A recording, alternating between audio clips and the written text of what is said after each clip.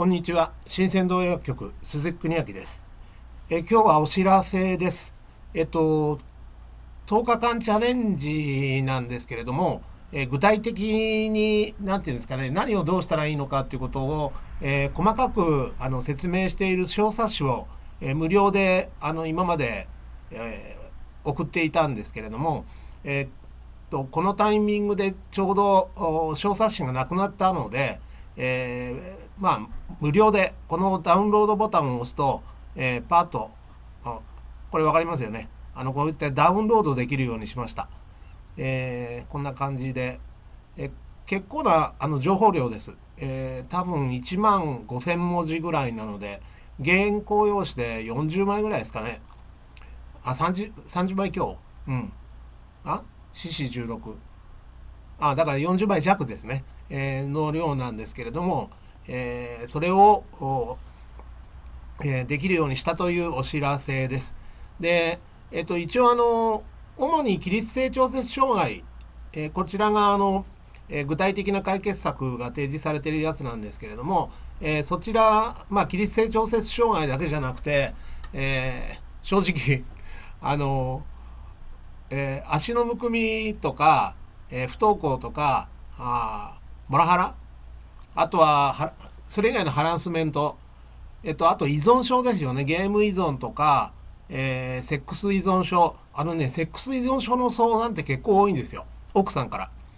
でね結構高学歴なあの大学の教授とかお医者さんとかあの奥様からの相談が多いですね。だからセックス依存症っていうのも別にあの普通に、えー、食べ物を気をつけると治ります。はい。えー、それ以外だとあのゴミ屋敷とか、えー、あとはなんだ？精神疾患もそうだしえー、万引きがやめられないとか。まあとにかくありとあらゆるあのことに、えー、はっきりと効果がありますのでまああのこれはできればこちらはお読みになられることをお勧めしますけどね。えっ、ー、とあのまあ理屈がちゃんとわかるのではい。で、えー、こっち 正直これを無料で読めばこっち側は読む必要はないと。うん、こっち側ので書かれてることをちゃんとやれば あまあ私もこの順番で進化してますからこれ一番初めからで2番目3番目4番目って感じで進化してますのでこれ1冊読むだけで OK。えー、あの Kindle United っていうやつにすればタダで読めるのはずですよね。はい。えー、まあそういう形で、えー、役立てていただいてでそのことによってまあアレルギーもそうだし、まあ、頭痛とか、えー、関節痛それとか、まあ、朝起きれないのもそうだしあとしんどいとかっていうやつね。よくあのパート勤めの方で帰ってきて、えー、次に何かやろうっていう前に休まないといられないという方がいらっしゃるんですけどそういう類の問題も改善しますしあとあの何よりねあのまあ特に子どもさんにやってあげると子どもがいつも笑顔になりますよね。であ例えばあの頼み事した時にあの今までだったら面倒くさくてやってくんなかったやつがあの自ら進んでやってくれるようになる素直に「えー」とかっていう言葉が出なかったりね出なくなるとかね。でねあの本当体感していただければ分かるんですけど家族まあそのご家庭が変わるんですよ。本当に変わるんです。あの今までもね、えー、た例えばあの兄弟3人の中でこの子だけ、えー、問題があるって言って、えー、例えばお見えになるじゃないですか。そうするとその子だけの食事を変えるなんてことをするおたくなくて結果的には自分たち全部変えることになるわけですよね。そうすると、えっと、問題とないとないと思ってたあの他の兄弟もものすごく良くなりましたって 言うんですよ。だからあの兄弟がいる方がかえってあの楽で何、えー、て言うんですか、えー、その問題のある子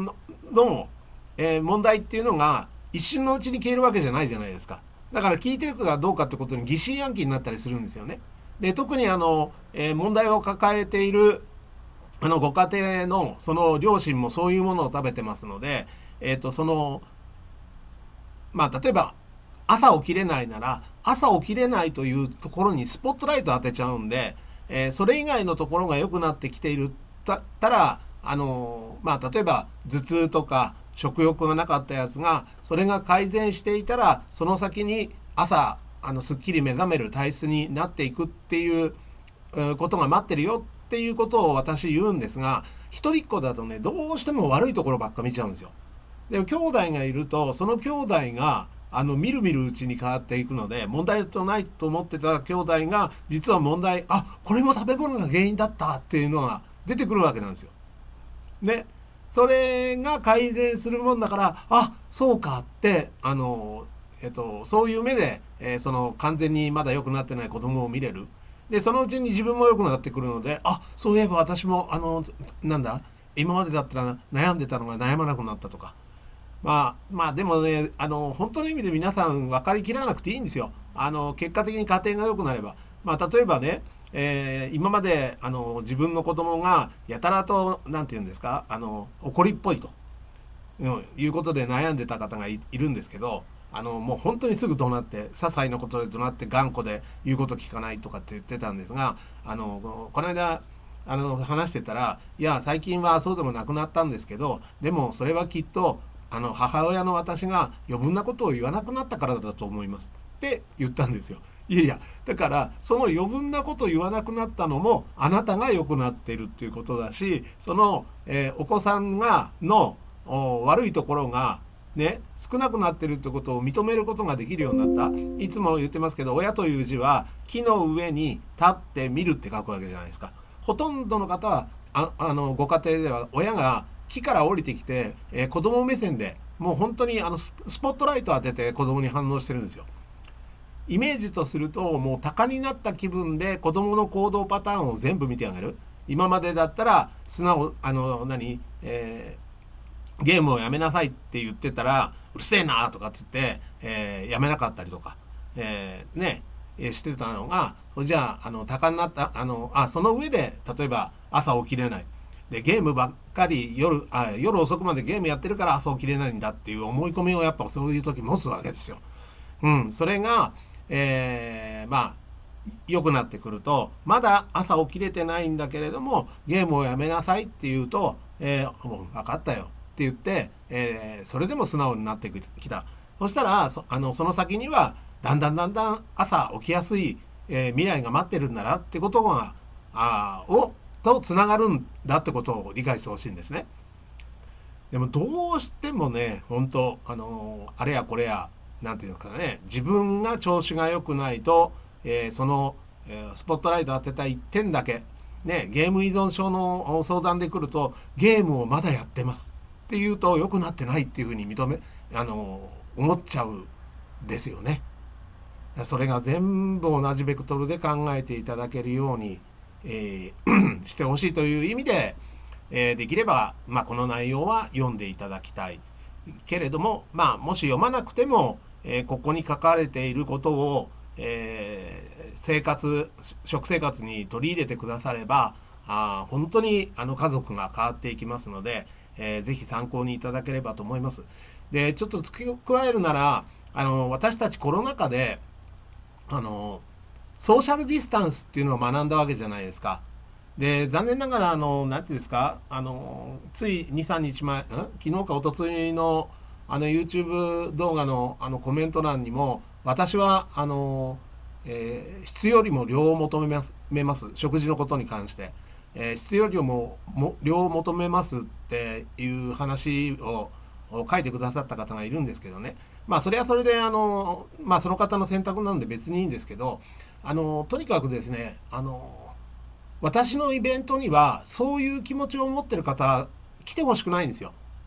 何度も言いますけどソーシャルディスタンスでねあの私たちっていうのはこれからね余分なこと言わずにあこの人と気が合わないって思ったらあの余分なこと言わずに去っていくっていうのが当たり前になっていかなきゃいけないんだと思うんですね。でいちいちあのそういう余分なことを言っている人があの来てしまうとまあなんていうのかな。場が乱れる、うん、わざわざ場が乱れるの分かってて来ていただいてもね困るのでまあ本当はそういう方は動画は私のチャンネルも見ない方がいいんですけどね。うん、まあ本当に人それぞれの考え方なんですけどいつも言ってますけどあの他の配信者の方のイベント参加されて、ね、そしたらそこであの、ねえー、LINE グループだなんだ、えー、まあ、食事会だやってるといつの間にか喧嘩が始まると。うん、でもそういうのにそういう経験をされた方が何人もあの私の、えー、イベントの方に来ていただいてるんですけどあの口を揃えて、えー、やっぱりあのここにの、えー、グループはあそういうことが全然ないと言ってくださるんですよ。でも1割ぐまあ正直なこと言って23割の方はまだ中途半端なんですよね。あの完全に、えー、気をつけてないそれでも注意していますけどっていう言い方で逆の言い方しているとまだちょこちょこ食べてますよってことなんですよね。でできればそういう方はあの参加してほしくないというのがあの本心です。何度も言いますけれどもせっかくいいあの空気で何、えー、て言うんですかね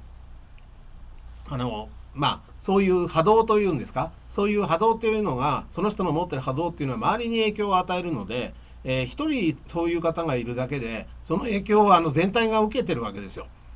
うん、だからできれば私はもう本当に、えー、食生活を気をつけている方だけのグループという形で、えー、今後イベントをやっていきたいと思いますし、えー、その先も見据えておりますので、えこれは決して悪気ではなくてあの多分食べ物を気をつけてない人が食べ物からいい人から何か言われると嫌な思いするはずなんですよ。不快情動が脳にあるから。うん。まあその意味で、えー、もし、えー、この先しっかりやっていくというねお気持ちがあられるのならばあのこちらの